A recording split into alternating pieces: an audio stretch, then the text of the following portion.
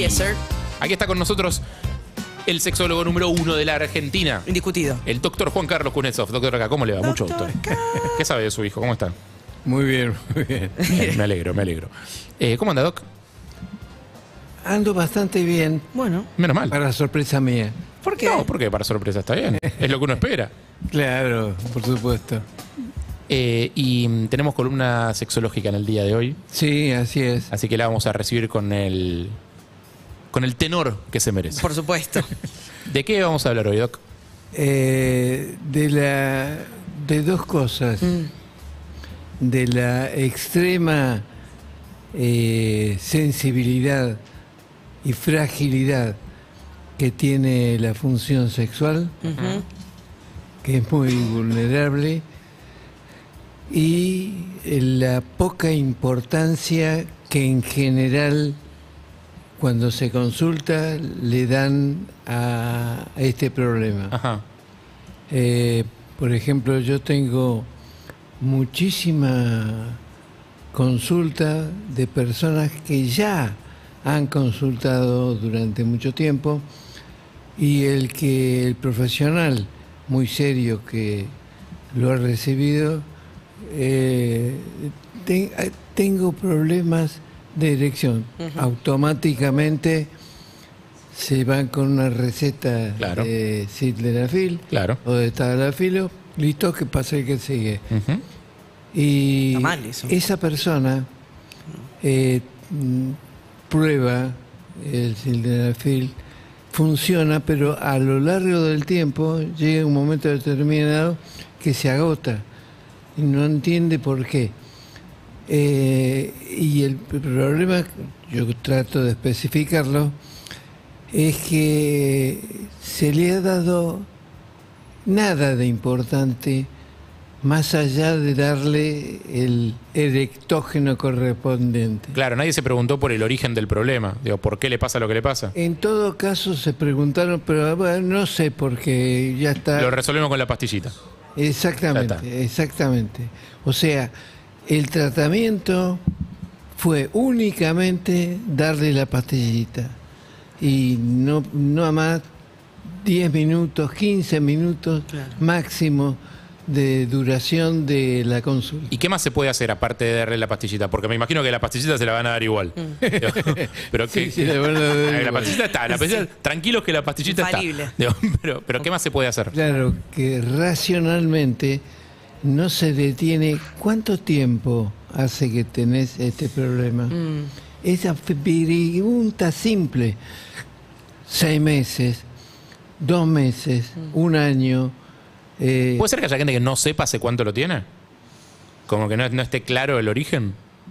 No, como no sé, lo tengo cada tanto, hace No. mucho tiempo, no sé. sabe cuánto hace, Mm. pero no tiene eh, noción del origen. Y, eh, y eso corre por cuenta del profesional, obviamente, de la investigación, eh, del tiempo que se le dedique el profesional al problema del paciente. Y en su experiencia, Doc, ¿siempre hay un origen identificable Sí. o a veces simplemente apareció? Es muy buena la pregunta porque efectivamente siempre hay una situación a la cual decirle a partir de ese momento el problema ha comenzado. En general, ¿cuáles son esas situaciones? Un, eh, es muy buena pregunta. La Dos, gente, la gente cree, la gente cree que de pronto un acontecimiento dramático puede dar cuenta del problema Mm. tres meses después, cuatro meses después. Eso existe, pero muy raro. Lo más común es eh, algo que pasó inadvertido. Un comentario quizás. Un comentario, una peleita.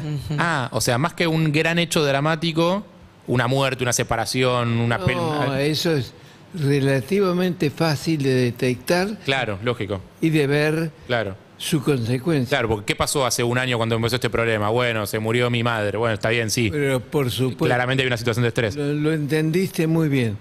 Lo que no entiende el profesional es como una discusión simple Le- Algo que pasa inadvertido no puede ser.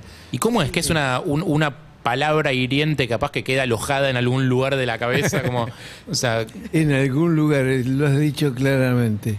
El, el problema eh, queda alojado en la subcorteza, no en la corteza. Ajá. La corteza es el pensamiento, el que nos lleva a distinguir de los animales. Lo- eh, la subcorteza, todo el- el- la parte blanca del cerebro, se encarga de cosas que nosotros ya creemos superado. No, justamente que las emociones, por ejemplo. las emociones y algunas emociones que pasan inadvertidas y que tienen consecuencias justamente en un problema que no es inmediato. Demora a lo mejor un mes, dos meses. Claro, es una semillita que eh, después echa raíces. ¿Tiene que ver eh, sí o sí con un momento sexual o puede ser algo que nada tenga que ver con lo sexual pero repercute en ese sentido? Muy bien. Vamos. Dos a uno. Es una Muy bien. Harry. Repetilo, por favor. No sé si puedo. No, no. Si t- tiene que. eh, es un momento puntual, digamos, puede ser una discusión que nada tenga que ver con lo sexual, pero que termina repercutiendo en ese sentido. Muy bien, muy bien. Lo has dicho infinitamente mejor que yo. Gracias. Ok, o sea, puede pasar eso también. Pero claro, pues sin eso le hemos discutido por los problemas, faltan problemas en este país para No, digo, sobran para tirar el techo. y- No pagaste la luz, por ejemplo, y nos cortaron la luz por tu culpa, digamos. Esa Exact- discusión Exactamente. termina Claro. siendo un O factor. yo traigo toda la plata a casa, vos no servís para nada. Uy, te se digo en medio de una me discusión. seca, me seco por Claro, ya está. Eso, eso ya es directo. Claro, Claro, ya más, estamos. Eh, Pero, eso- eh, y pero el, eh, exactamente. Mm. La vulnerabilidad de la- de la- del tratado sexual, Mm. tanto en hombres como en mujeres, es proverbial.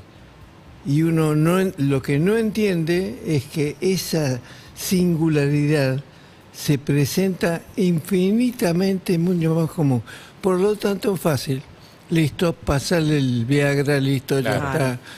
Pase que sí. Ahora, doctor, ¿de qué depende que el quilombo se lo facture la función sexual? Porque uno puede pasar que empieces a dormir mal o que te agarre problema del estómago. Tercera Eh, consulta muy buena. Ay, qué bronca, 3 a 1. para vos. Muy buena. Si yo pudiera responder eso, Ah, claro.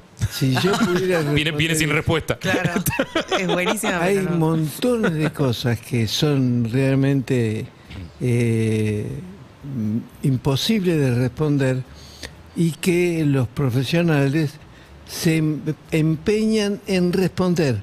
Y entonces la gente cree que él puede responder cualquier cosa. Claro, pero es loco cómo la gente se acostumbra a vivir mal, porque Mm. capaz que es eso, tenés acidez toda la vida eh, y nunca te preguntás de dónde viene la acidez, eh, capaz que dormís mal toda la vida y nunca te preguntás por qué dormís mal, Mm. capaz que tenés problemas eréctiles toda la vida y nunca te preguntás de dónde vienen, Claro. o tenés eh, problemas de lubricación y nunca te preguntás de dónde vienen. No, voy a hacerte una corrección. Sí, Eh, bajé un punto ahí. de es dos todo lo que dijiste, puede dormir mal, puede comer mal, puede tener úlceras sangrantes, todo eso. Lo que no va a dejar pasar el cliente es exactamente el problema Es sexual. verdad, es verdad, es verdad. Te, te- te puedes arrastrar por el piso con un balazo en el hombro, pero el problema es... ¿Cuándo voy a poder volver a tener sexo, doctor? Exactamente. Lo- eh, desde hace años eh, nosotros hemos dicho que la sexualidad humana es muy frágil, extremadamente vulnerable y emociono dependiente. Ahí va. Y hablar del tema es una forma de fortalecerla, que sea menos frágil. ¿Se puede hacer que sea menos frágil? ¿Cómo hacemos? ¿Cómo hacemos musculito para la, la No, función pero sexual? entonces yo no podría vivir de eso. Ah, claro, necesitamos que siga siendo frágil. Claro. Eh, muchas gracias, Doc, No, por su visita y por su sabiduría. ¿Tenemos vivos? ¿Transmisión en vivo en Instagram? Sí, vi- ¿Hoy? vivos en el mundo del sexo siempre hay. claro. a las 14. A las 14, siempre los miércoles a las A 14. las 14. Y mañana a las 20 horas. Eh, los que participan en ese vivo, Sí. Ujú. eh, un 80% me están escuchando ahora. Claro. Y, Eh, y capaz así- que se quedan con alguna pregunta. Así Ah. que las preguntas que vienen allí Ujú. tienen origen acá, Me encanta. en este momento. Excelente. Muchas gracias, Doc. Muy amables ustedes, felices orgasmos para, Para todos. Gracias igualmente. The Weeknd. Blinding Lights. Perros 2022. Falta un montón para el fin de semana. Muchísimo. Recién fueron 12 y 12.